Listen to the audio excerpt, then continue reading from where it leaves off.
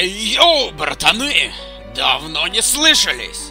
В преддверии новогоднего праздника хотел спросить у вас. Как вы думаете, что лучше? Маленький коротенький PvP-мувик? Или длинный интересный со всякими вставками супер-мега PvP-хит? Ответы в комментарии!